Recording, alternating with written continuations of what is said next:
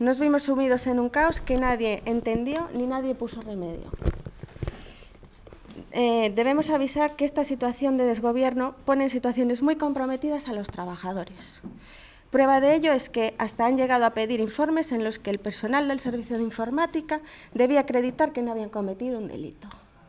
Apelamos al derecho a la dignidad del trabajo y advertimos que estaremos atentos ante cualquier posible vulneración de los derechos fundamentales. El alcalde tiene que hacer algo y evitar este tipo de situaciones.